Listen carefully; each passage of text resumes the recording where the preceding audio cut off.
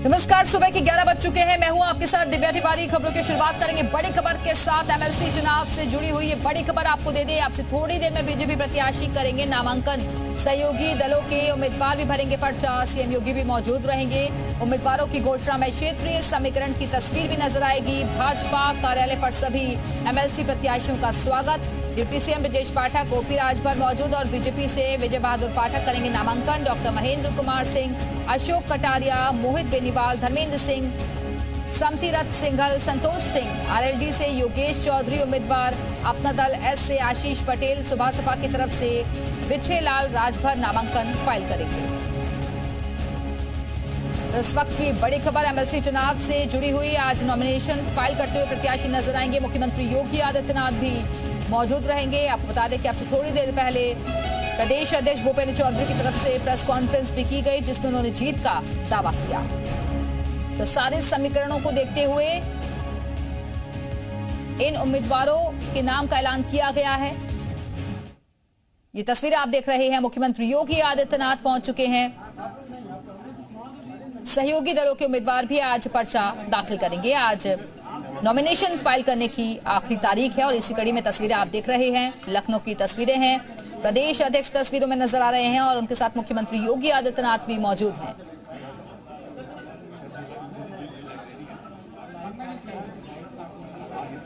तो भाजपा कार्यालय पर सभी एमएलसी प्रत्याशियों का स्वागत हुआ है और deputy CM Brajesh Pathak OP Rajbhar भी मौजूद।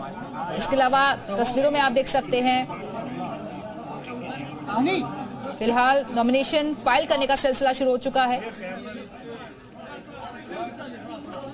और इसी खबर पर और ज़्यादा बातचीत के लिए हमारे साथ हमारे सहयोगी विशाल रघुवंशी इस वक्त जुड़ गए हैं। विशाल, क्या अपडेट्स आपके पास? हाँ देखिए, फ़िलहाल आप तस्वीरों में देख सकते हैं कि मुख्यमंत्री योगी आदित्यनाथ इस वक्त मौजूद हैं और जो तमाम प्रत्याशी हैं, चाहे वो महेंद्र सिंह हों, चाहे हम अगर बात करें जो अशोक कटारिया हों, इसके साथ साथ सुभाषपा से बिच्छे लाल हों, सभी लोग जो है वो यहाँ पर पहुँचे हुए हैं और आशीष पटेल जो अपना दल एस कोटे से जो है एमएलसी जिनको बनाया जा रहा है, वो यहाँ पर आपको दिखाई पड़ेंगे। रालोद के जो प्रत्याशी हैं, वो आपको यहाँ पर दिखाई पड़ेंगे। तो ये तस्वीरें हैं, बेहद खास तस्वीरें हैं एमएलसी के चुनाव को लेकर। दस प्रत्याशी प्रत्याशी जो है, वो बीजेपी और उनके सहयोगी दल जो है, वो उतार रहे हैं। कुल तेरह सीटों पर चुनाव होना है। ऐसे में ये उम्मीद लगाई जा रही है कि तीन सपा जो है, वो अपना प्रत्याशी जो है उतारेगी। तो ऐसे में कुल जो है तेरह सीटों पर जो चुनाव होना है, उनमें किसी भी तरह से कोई भी एक अतिरिक्त उम्मीदवार ना तो सपा उतार रही है, ना ही भाजपा उतार रही तो ऐसे में ये निर्विरोध चुनाव माना जा रहा है। तो फ़िलहाल आप तस्वीरें देखते हैं कि विजय बहादुर पाठक हैं महेंद्र सिंह इस वक्त अपना जो एफिडेविट है, वो जमा कर रहे हैं। जो जो चुनाव का जो फॉर्म है, वो जमा कर रहे हैं। महेंद्र सिंह एमएलसी भी थे और यूपी सरकार में जल शक्ति मंत्री भी रहे हैं। जब कार्यकाल योगी सरकार का पहला था तो ऐसे में उनको जो है पार्टी ने मौका दिया है और आप तस्वीरें देखते हैं कि पहले कैंडिडेट के तौर पर उन्होंने अपना पर्चा जो है वो दाखिल कर दिया है। इसके साथ साथ अगर आप देखेंगे तो विजय बहादुर पाठक प्रदेश उपाध्यक्ष हैं, एमएलसी भी रहे हैं और उनको फिर से रिपीट किया गया है। अशोक कटारिया की बात करें, अशोक कटारिया योगी सरकार वन में परिवहन मंत्री रहे हैं और उनको जो है दोबारा से रिपीट किया गया है। उनका भी एमएलसी का जो कार्यकाल था वो खत्म हो रहा था, उनको भी रिपीट किया गया है। इसके साथ साथ अगर हम बात करें तो कुछ जो नए नाम हैं, उनमें अगर हम बात करें तो जो संतोष सिंह है, प्रदेश उपाध्यक्ष थे, उनको जो है एमएलसी बनाया गया है। अभी तक प्रदेश उपाध्यक्ष भाजपा के तौर पर थे। इसके साथ साथ अगर हम बात करें तो जो तमाम जो धर्मेंद्र सिंह राय हैं, जो बीजेपी के मीडिया से प्रभारी थे, काशी क्षेत्र से आते हैं, उनको जो है एमएलसी बनाया गया है। इसके साथ साथ रालोद से अगर हम बात करें तो रालोद ने पहले ही अनाउंसमेंट कर दिया था अपनी प्रत्याशी तो ये समझौते के तहत एक सीट अपना दल एस को दी गई थी, एक ओम प्रकाश राजभर की पार्टी सुभाषपा को दी गई थी और एक जो है रालोद को दी गई थी। तो कुल तीन सीटें जो हैं, वो एमएलसी के लिए जो है सहयोगी को दी गई थी। तो फ़िलहाल ये आप तस्वीरें देख सकते हैं कि यहाँ पर इस वक्त आपको तमाम जो यहाँ प्रत्याशी हैं, वो दिखाई पड़ेंगे। इसके साथ साथ अगर हम बात करते हैं तो झांसी के पूर्व जो मेयर रहे हैं, राम तीरथ सिंघल, वो भी यहाँ पर प्रत्याशी के तौर पर जो है आए हैं। इसके बाद मोहित बेनीवाल शामली से आते हैं और पश्चिम से आते हैं। उन पर जो है भरोसा जताया है, पार्टी ने उनको एमएलसी के प्रत्याशी के तौर पर आया तो आप आप देख सकते हैं कि एक करके तमाम प्रत्याशी जो हैं, वो अपना नामांकन दाखिल कर रहे हैं। सबसे पहले महेंद्र सिंह ने किया है और अब विजय बहादुर पाठक ने अपना नामांकन जो है वो दाखिल किया सीएम योगी आदित्यनाथ, ब्रजेश पाठक, इसके साथ साथ सुभाष अध्यक्ष ओम प्रकाश राजभर, सभी लोग आपको तस्वीरों में दिखाई पड़ेंगे। और लगातार चेहरे पर मुस्कुराहट है क्योंकि जो जो पूरा आंकड़ा है, उसके अनुसार बीजेपी बहुत आराम से साफ़ सीटें दिख रही है। डिप्टी सीएम केशव प्रसाद मौर्य भी दिखे आपको तस्वीरें दिखाई पड़ेंगे। भूपेन्द्र चौधरी प्रदेश अध्यक्ष आपको दिखाई पड़ेंगे। रालोद के जो नेता विधानमंडल दल है, राजपाल वालियान, वो आपको तस्वीरों में दिखाई पड़ेंगे। तो रालोद के सभी विधायक यहाँ पहुँचे हुए हैं, इसके साथ साथ आपको बता दें कि ये जो तस्वीरें हैं, इसमें बेहद खास है क्योंकि बीजेपी के साथ साथ जो उनके सहयोगी दल हैं, जो एनडीए में सहयोगी दल हैं, वो भी सब भी जो है अपना अपना नामांकन जो है वो दाखिल कर रहे हैं। तो ऐसे में ये जो पूरा चुनावी समीकरण है, उसके अनुसार आशीष पटेल को दोबारा रिपीट किया गया है। आशीष पटेल एमएलसी थे और अपना दल एस के अध्यक्ष जो अनुप्रिया पटेल हैं, उनके पति हैं, यूपी सरकार में मंत्री भी हैं आशीष पटेल, प्राविधिक शिक्षा उनके पास है, विभाग। ऐसे में उनको जो है दोबारा से रिपीट किया गया है। उनको सहयोगी दल के तौर पर अपना दल एस को जो है एक सीट दिया गया था।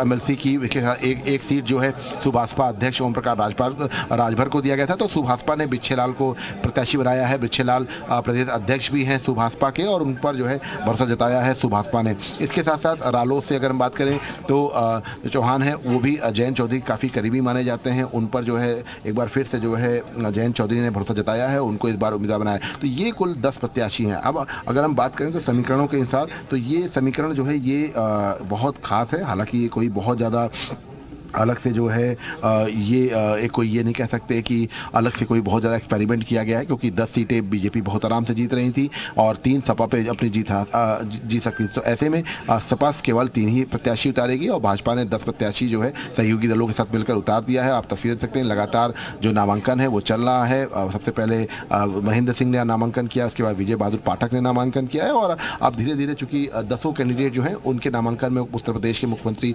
योगी आदित्यनाथ मौजूद हैं तो ये तस्वीरें विधानसभा की हैं। विधानसभा में इन पूरे चुनाव को लेकर अगर हम बात करें तो ये अपने आप में एक बड़ा संदेश भी है सहयोगी दलों के लिए भी, क्योंकि लोकसभा चुनाव से पहले सहयोगी दलों को तीन सीटें जो हैं, वो एमएलसी की भी दी गई हैं, जिसमें आशीष पटेल जो अपना दल एस से आते हैं उनको जो है मौका दिया गया है। इसके साथ साथ अगर हम बात करें तो इसके साथ ही जो सुभाषपा अध्यक्ष ओम प्रकाश राजभर ने बिच्छे लाल को मौका दिया तो ये तमाम चीज़ें हैं। आज फ़िलहाल नामांकन पत्र जो है वो दाखिल किए जा रहे हैं। सीएम योगी आदित्यनाथ मौजूद हैं और भाजपा के साथ अपना दल एस के एक रालोद के एक और सुभाषपा के एक एक प्रत्याशी जो है, वो आज जो है ये अपना नामांकन पत्र जो है वो दाखिल कर रहे हैं। ये तस्वीरें हैं और एक बार फिर से तस्वीरें के साथ साथ मैं बता दूँ कि वर्तमान में एमएलसी विजय बहादुर पाठक, महेंद्र सिंह और अशोक कटारिया, ये तीनों लोग सिटिंग एमएलसी हैं। इनको जो है दोबारा से रिपीट किया गया है, तीनों को मौका दिया गया इसके अलावा अगर हम बात करें तो पार्टी के प्रदेश उपाध्यक्ष मोहित बेनीवाल और संतोष सिंह को मौका दिया गया है। संतोष सिंह और मोहित बेनीवाल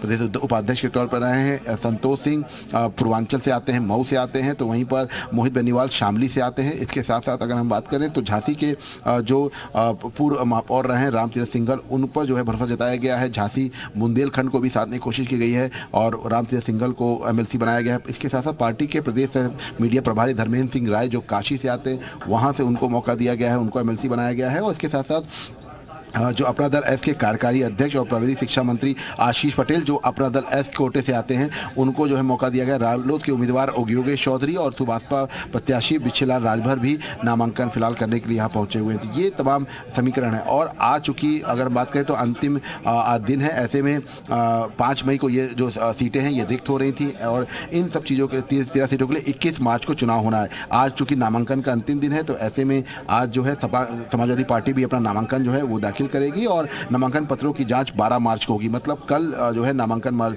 पत्रों की मार्च होगी और अगर कोई नाम वापसी नहीं होती है कि बीजेपी की यही स्ट्रेटेजी होती है कि हर एक चेहरा हर एक प्रत्याशी वो सोच समझकर उतारती है कि कहीं कोई नाराज़गी की खबरें भी सामने ना आए। जिनको टिकट लोकसभा चुनाव में नहीं मिला उन्हें एमएलसी चुनाव में एडजस्ट करने की कोशिश और एक बड़ा संदेश देने की कोशिश भी हो रही है यहाँ से। देखिए बिल्कुल चूँकि देखिए अगर हम समीकरण की बात करें तो समीकरण के अनुसार अगर अभी की बात करते हैं तो जो ग्यारहवा उम्मीदवार है अगर भाजपा उतारती तब शायद इस तरह की चुनाव की नौबत आती है। लेकिन अभी अगर हम बात करें तो कुल तेरह सीटें हैं। ऐसे में बीजेपी ने अपनी तरफ़ से बिल्कुल कोशिश ये की है कि जो सहयोगी दल है उन सबको जो है बाकायदा मौका दिया जाए और उनके लिए जो है बाकायदा पूरी व्यवस्था जो है की, की गई है। चाहे हम बात करें तो ये कह सकते हैं कि सुभाषपा को मौका दिया है एक सीट का। एक सीट रालोद को दी गई है। इसके साथ साथ एक सीट जो है सीधे तौर पर इस पूरे मामले में आशीष पटेल जो अपना दल एस के कार्यकारी अध्यक्ष है और यूपी सरकार में मंत्री हैं उनको जो है रिपीट किया गया है। तो सहयोगी दलों का भी प्रॉपर ध्यान रखा गया चूँकि लोकसभा चुनाव में अगर हम बात करें तो सीटों के बंटवारे को लेकर हम्म। सुभाषपा को एक सीट दी गई है घोसी की इसके साथ साथ रालोद को दो सीटें दी गई हैं। इसके साथ ही साथ बात करें तो बीजेपी ने जो अपना दल ऐसे उसको दो सीटों की की बात कही है। और तो यही वजह है कि जो अपने सहयोगी दल हैं उनको किसी तरह से कोई नाराज़गी ना हो और चुनाव के वक्त में बीजेपी बिल्कुल भी इस रिक्स लेने के मूड में नहीं है और इसीलिए इस तरह की पूरी कवायद जो है वो की जा रही है। फ़िलहाल ये जो आज नामांकन हो रहा है, इनके जो पद हैं वो पाँच मई को खाली होने वाले थे और ऐसे में उससे पहले आज। और अगर इसमें जो है निर्विरोध रहता है, कुल तेरह प्रत्याशी ही अगर घोषित करते हैं नाम तो इस इन नामों पर कोई भी आपत्ति नहीं होगी तो उसके बाद इसको जो है इन लोगों को, तमाम लोगों को निर्विरोध चुन लिया जाएगा। अगर ऐसा नहीं होता है, एक प्रत्याशी एक्स्ट्रा उतरता है, चाहे वो सपा की तरफ़ से या बीजेपी की तरफ़ से, तब जो है ये इस पूरे चुनाव को जो है, इक्कीस तारीख को जो है बाकायदा चुनाव होंगे। तो ये फ़िलहाल ये कह सकते हैं कि ये जो है पूरा जो है चर्चा है। अब सपा की अगर हम बात करते हैं तो कई नाम चर्चा में है, जिसमें सपा के राष्ट्रीय महासचिव किरण पाल कश्यप का नाम है मैनपुरी के जिला प्रमुख आलोक शाख का नाम आ रहा है। इसके साथ बसपा छोड़ के जो है सपा में शामिल हुए गुड्डू जमाली का नाम आ रहा है। तो नाम अभी सपा की तरफ़ से कई हैं, लेकिन अभी अभी अगर हम बात करें तो फ़िलहाल ये कह सकते हैं कि यहाँ पर अगर आप देखेंगे तो ये समीकरण जो है, ये देखने को मिल रहे हैं कि ये अपने आप में जो है यहाँ पर आप देख सकते हैं कि फ़िलहाल नामांकन जो है वो दाखिल किया जा रहा है। लगातार जो है धर्मेंद्र राय हैं। आप तस्वीर देख सकते हैं, धर्मेंद्र राय मीडिया सह प्रभारी हैं, बनारस से आते हैं। धर्मेंद्र कुमार राय पूरा नाम है। और काशी में रहते हैं और ये कहा जा सकता है कि एक जो फाइट होती थी या कह सकते हैं कि क्योंकि कांग्रेस का जो आखिरी विधान परिषद सदस्य रहा है, वो वो वो दीपक सिंह रहे हैं। उनका जो कार्यकाल है, वो खत्म हो गया था। उसके बाद अब बसपा से भीमराव अंबेडकर थे, जिनका कार्यकाल तेरह मई खत्म हो रहा है। तो ऐसे में ये कह सकते हैं कि फ़िलहाल ये जो पूरा समीकरण है, इसके अनुसार बीजेपी अब विधान परिषद में भी मज़बूत रहेगी और और ये राज्यसभा चुनाव की तरह अगर कोई चौदहवा प्रत्याशी आता है तो इस वक्त विधान परिषद में सौ एम है, जिसमें अड़तीस सदस्यों का चुनाव जो है, वो यूपी विधानसभा के एम द्वारा किया जाता है। तो मतलब साफ़ है कि अगर हम बात करें तो